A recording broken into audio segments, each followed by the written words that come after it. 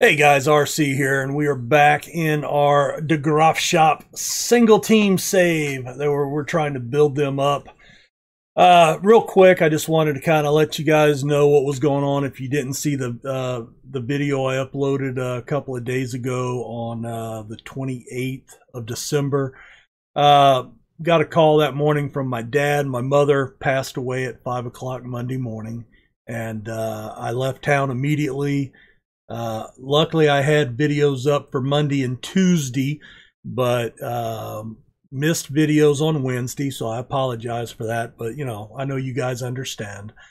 Um, just ask you to bear with me here over the next, you know, week or so. While you know, by the time you see this, it might be almost a week.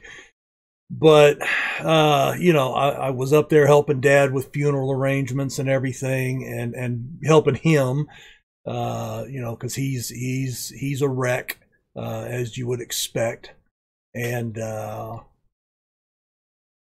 you know I haven't had my moment yet, so that's coming as well, and I'm going to have to deal with that um, because I've been busy doing all kind of stuff helping him that I haven't had a minute to sit down and process this, and uh, and that's coming. So I know it is. So uh, anyway, I'm I'm trying to do some recording. I'm recording this on uh, New Year's Eve day, uh, the 31st. Just trying to get ahead a little bit. I'll be rendering videos all day today, getting those up. So hopefully I can get three or four episodes done today and get through the weekend. And then, uh, you know, I've got, you know, tomorrow and Saturday that I'll be able to do some more rendering and, and uploading. Uh, so I'm trying to get some recording done today. So I've got stuff to work on tomorrow and, and Saturday. Sunday, I'll be leaving town again uh, to go back to my dad's for the funeral services and the burial. Um, so I'll be out two or three days next week where I'm not around to do anything. So Anyway, by the middle of January, I should be back to normal. Uh, you know, as normal as I can be, but normal as far as the schedule and releases go. So uh, I know you guys understand. So anyway, just kind of wanted to let you know. I had mentioned it in my Bielsa Journeyman video, but uh, you know, I know some of you guys don't watch both series. Didn't know if you had seen the video that I put up uh, right before I left the house uh, last uh, you know last Monday. So just kind of wanted to keep you in the loop, and uh, you know, for those of you that uh, took time in in the videos or over on my Twitter feed to to pass on your thoughts and condolences, it, it's much appreciated. Uh, you know, it is truly. You have no idea. All right, well, De Graafschap, we had a pretty good year last year, didn't we? Uh, so let's get into the end of season review. We'll take a look at the new arrivals. Like to sort these out by average rating if we can. Nobody played a seven, so that's a little disconcerting. Julian LaRue uh, was is a 24 year old attacking back, eight appearances, played a 6.89 with one assist. We got a B plus grade on him, so uh, you know, good value. And minimum release clause is a little over a half a million dollars. Uh, Paul DeVries was our big signing from Telstar, 25 year old striker. Cost us $352,000. Played a 6'8'6, 19 goals, 5 assists in 33 appearances. Got a B minus grade on him. And then uh, Makalov Banachek, 23 year old center back, cost us 235000 16 appearances, 2 goals, 1 assist, and we got a B plus grade on him, mostly for the good value on the transfer fee. Marco Marcit Marich uh, was a is a loanee from St. Gallen. We got a C plus grade on him, and then don't forget we also signed him to join us permanently on the end of season. Philip Rasmussen, winger, 29 years old, uh, 10 starts, 10 reserve appearances, and we got a B minus grade on him. Guillaume Shedahal, he is a 26 year old left winger for us. He was a big signing at $7 million. Seven goals, three assists, and we got a C on him. Probably paid too much, but he is he is a quality player. Uh, Edwin Snip, taking a look at him, Den Bach, uh, or Den Bosch, $60,000. Uh, got uh, one goal, no assist, and 17 appearances, and we get a C grade on him. Fabian Cohen, 12 starts, six reserve appearances at center back, and we get a B minus grade on him. He was a regular for us. Bert Vanderwall, uh, he only played two matches, got one assist. We get a B minus grade, but he was more of a future guy in depth. Uh, Timofey Stretsov, a striker from Shakhtar, four goals, three assists, and 18 appearances. We got a B grade with him. We got a nice uh, re- uh, release clause, 1.4 million. Theo Blondell, another striker, 255,000, 17 appearances for us, C plus grade. He didn't really perform well, so we're going to hope to see a step up from him next year, or he may be short lived with the club. Uh, Nemeth, a fullback from Willem, 450,000, uh, played a 649, not happy with that. C minus grade. Mike Brower, C plus grade on him, only 11 appearances, and again, didn't play well, but he was a reserve. And uh, Johnny Doherty, 25 year old striker, did not make an appearance for us, B minus grade. Uh, really was looking at him as depth. Taking a look at the season, um, you know, we did have a good season for De Graafschap. We gained promotion last year and this year, our goal was to fight bravely against relegation, and we finished 11 points clear. So I think we did a really good job. We actually were up mid table for a good while, but, you know, faded out. And uh, so we'll have to make some moves this year to strengthen the team if we can. Just not sure what we're going to have yet. So I haven't looked at it. This is actually where we ended the episode last episode. So I haven't even opened the game here in about a week. So uh, trying to play catch up here with you guys as we're going through this. Moments to remember a 6 1 win over NEC. That was our biggest win of the season. Match to remember was a 2 1 win over Fortuna Sittard. And goal of the season came from uh, our midfielder, Harms, a great strike from the defensive midfielder, a free kick from the edge of the area against FC Twente again, uh, in a 3 3 draw. Taking a look at finances, we are two and a half star reputation national. Uh, current hasn't changed any. No new sponsor. Uh, so we were even on sponsorship. Broadcast revenue was down just a touch. Uh, corporate hospitality was up about 400,000. Uh, we went from 300,000 to 7.83 million in competition prize money, so that's nice.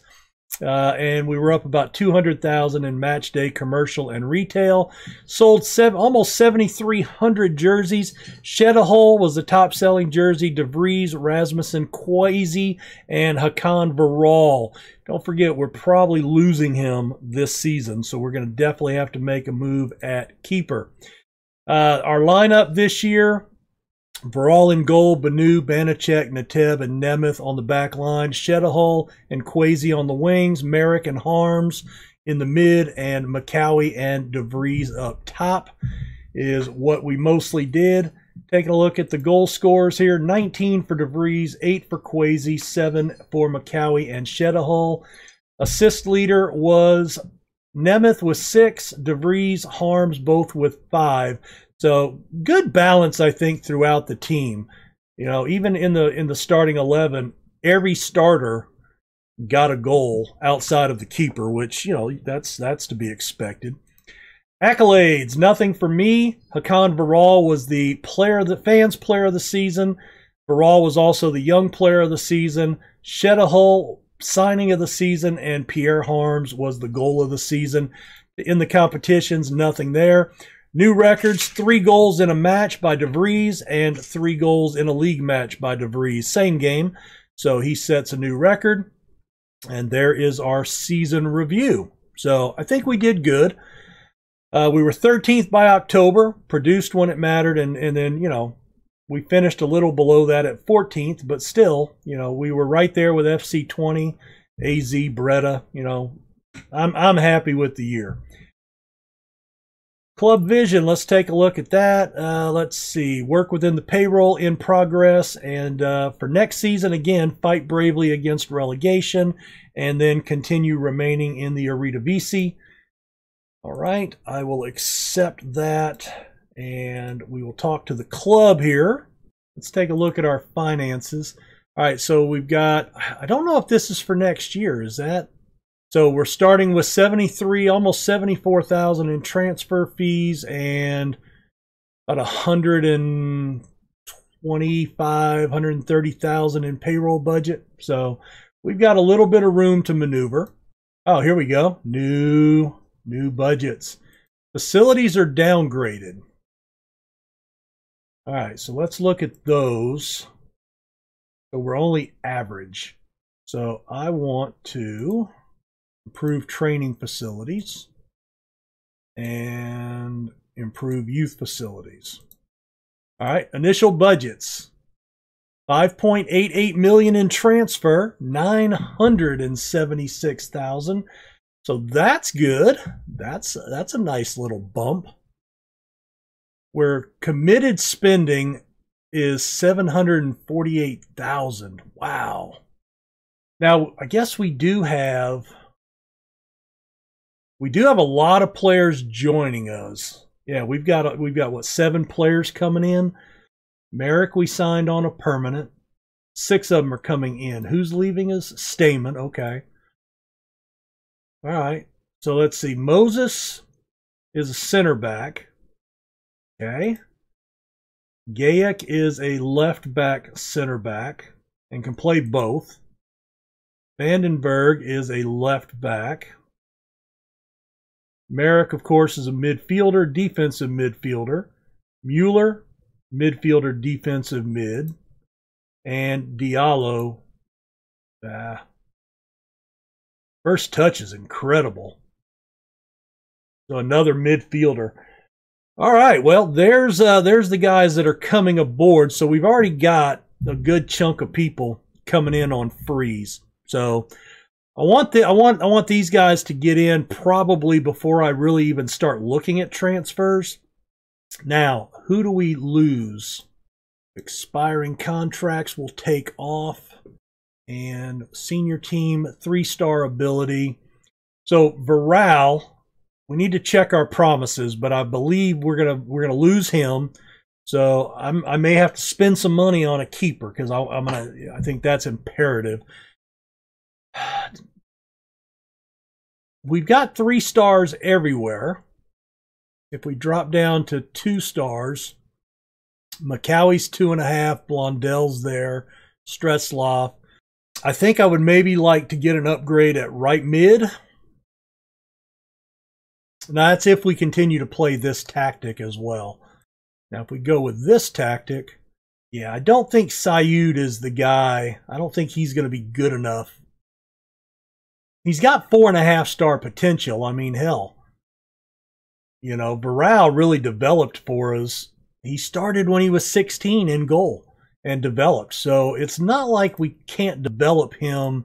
He's got potential. Maybe that's the route to go. I don't know. He's not horrible. First touch is lacking, but we may have to look around. So, all in all, uh, let's see. Are these guys Diallo, Gayek? Okay, so these guys are already in, right? Wazy, left back, Gayek, Gayek, Moses. So there's a couple of guys that I can probably get rid of here. Snip, Cooch. Uh, I would like to get rid of. De Bruyne. De Bruyne's actually not bad because he could play right back too. And he's young. I think Cooch can go. Snip can go. Cohen's a center back. Harms is a midfielder.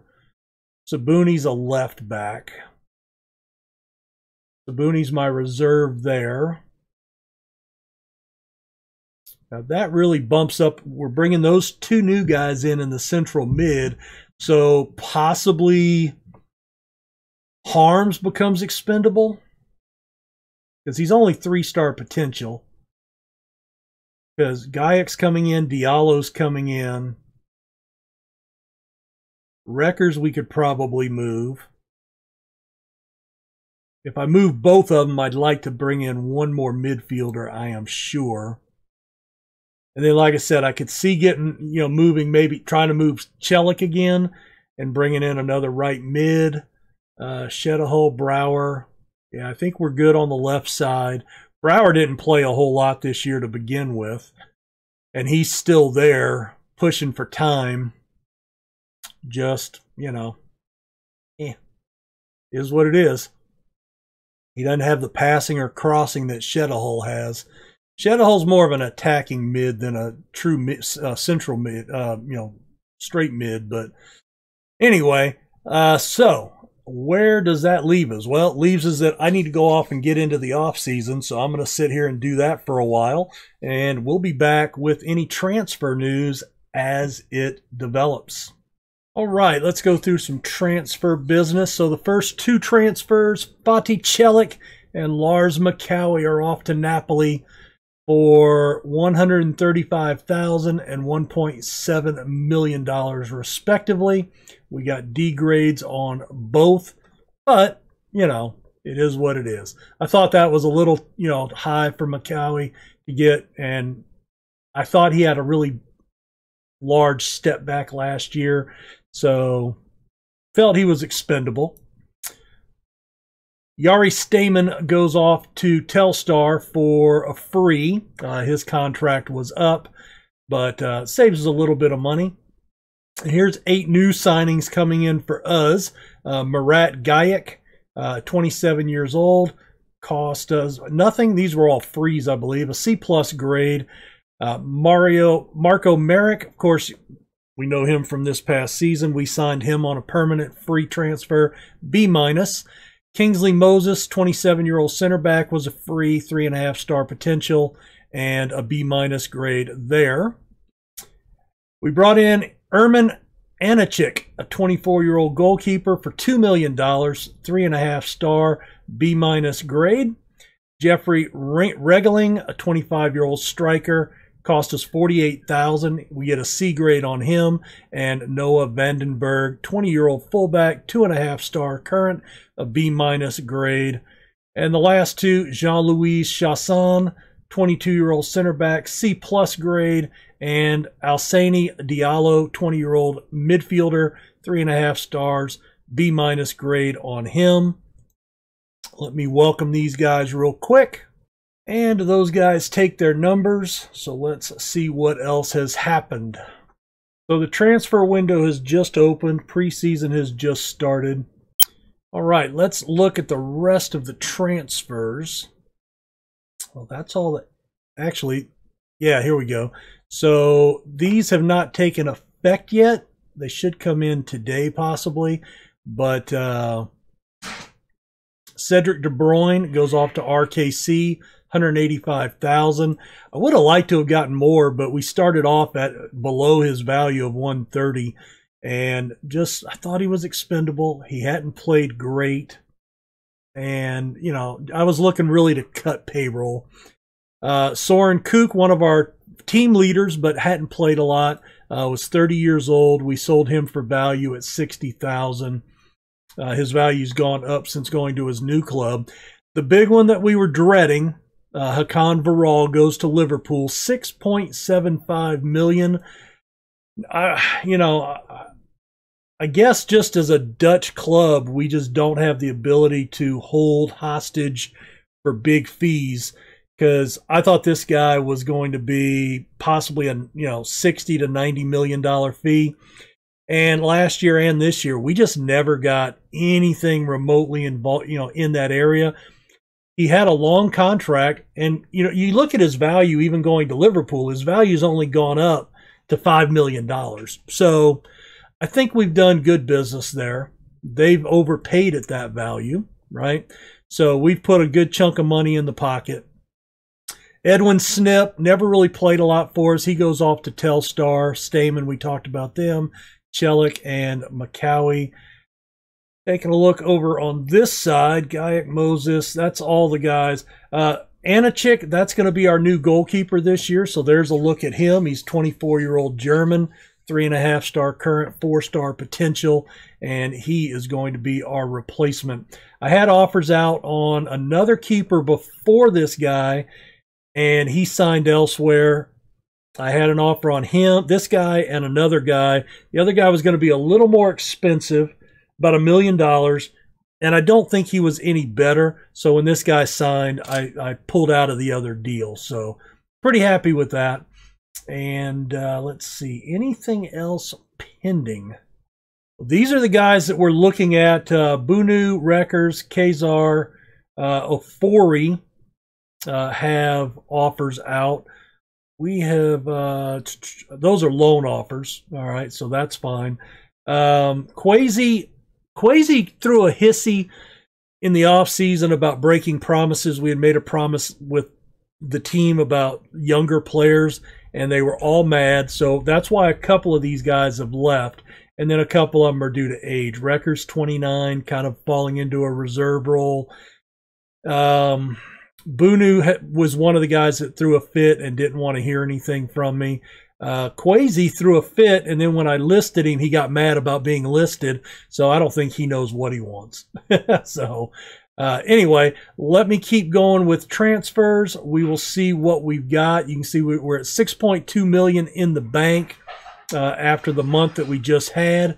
Uh, 7 million in profit for the season, and I'm trying to drag the spending down a little bit, so I don't want to sign a ton of people unless I can sell some more. So we need to cut that payroll, and we're still sitting on 6.8 million in our transfer budget. So, all right, we'll be back if anything new happens. Well, that's a pretty nice deal. So this happened before I took over, right? We sold uh, this guy Yale Meyer to Young AZ for 750,000 with a sell-on clause he just joined FC Twente for $14 million. And that means we get 1.6 million. We'll get another 375,000 in installments. So that's good. Uh, we have moved uh, Seppi Wreckers. Let's take a look at the transfers over here. Uh, Seppi Wreckers goes to Excelsior for 375k. Honest Bunu goes to Roda for 135k. Uh, we are trying to bring in a lone player, uh, an old friend uh, from earlier days, but he has not accepted just yet.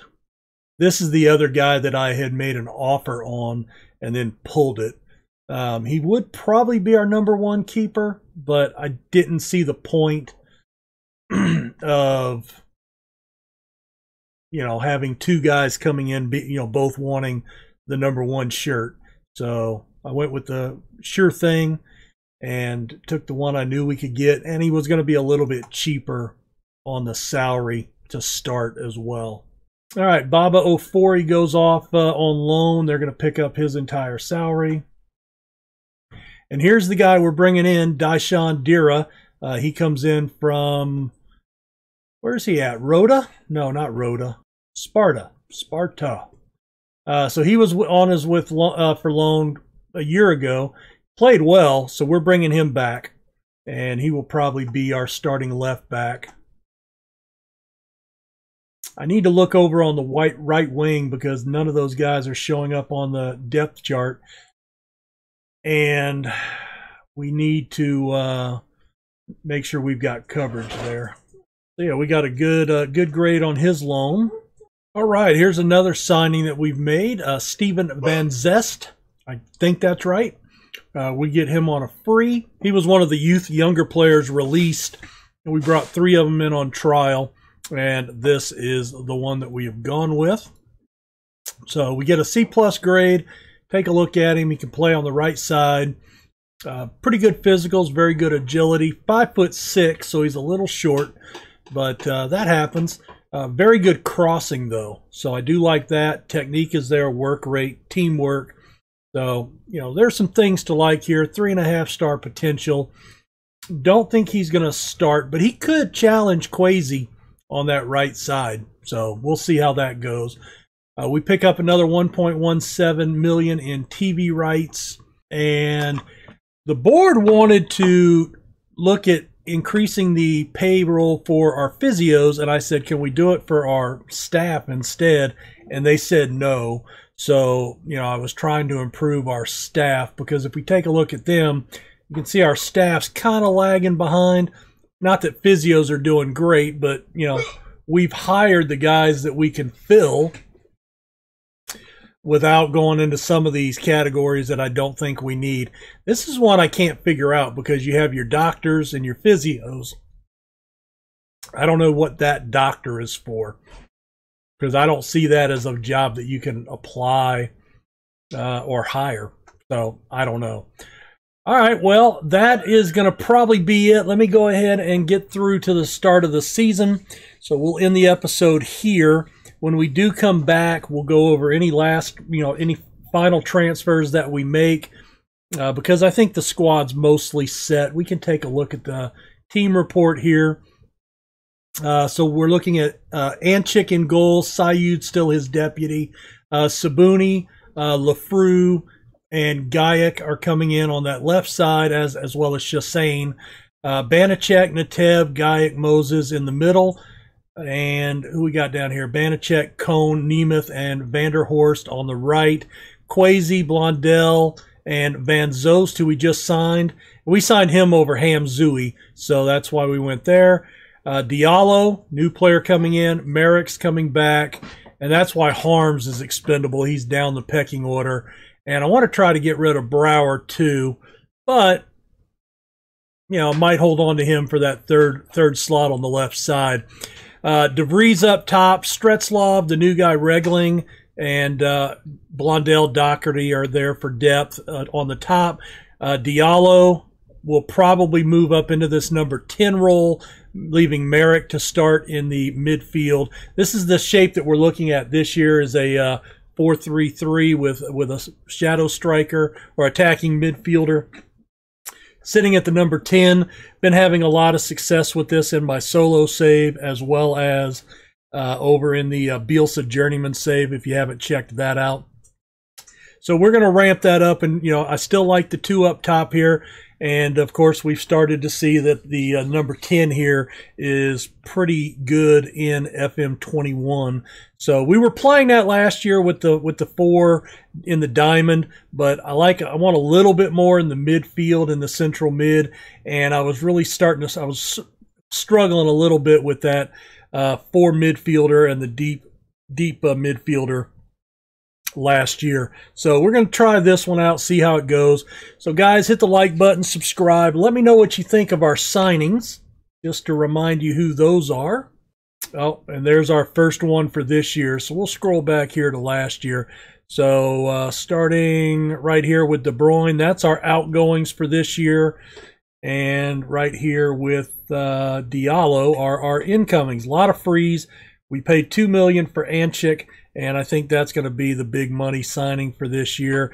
Unless I decide to maybe go out and get another striker, we'll see. I want to take a look at the finances, and you know, of course, we have to wait and see what the scouts push across my desk because that's where I look for all my signings is through the scouts.